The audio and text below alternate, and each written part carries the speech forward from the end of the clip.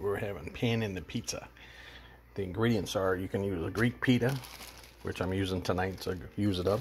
You can use Mission Carb Balance uh, tortillas, which work really good.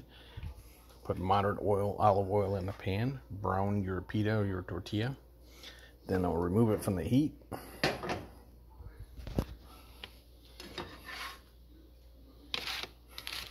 You can use any kind of pizza sauce that you want.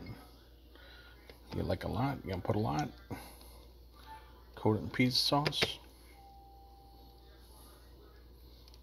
I like a little extra.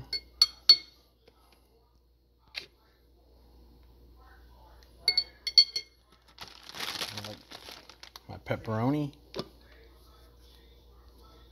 I got my pan cooling down a little bit over there.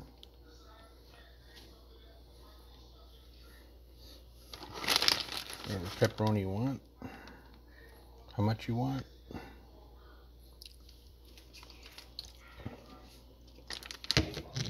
My old banana peppers I like.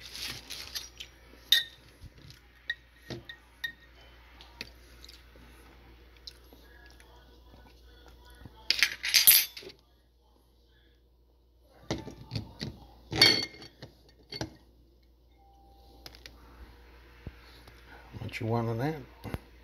I put my bacon on later. And then next I do is I put coat the pan of cheese.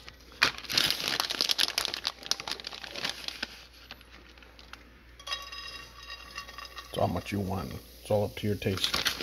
Parmesan is better. I like Parmesan cheese, but this this this works too. Okay. Take your tortilla and pita, put on top. Pan pizza in a pan. Bacon. Again, it's up to your taste. I love this crumbled bacon.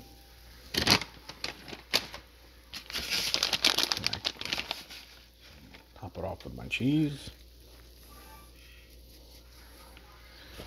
Put the cover on it. Move the heat up to medium. And you got about 10 minutes in there. It'll turn brown on the sides and then the top will melt. And that's your pizza in a pan, in a frying pan. Easy as that. Pita, tortilla, low carb, it's up to you. Pepperoni, pizza sauce, olive oil, bacon if you want. You can put onions on it. Put it in a pan. Easy as that. Henry out. That's Friday night pizza in a pan.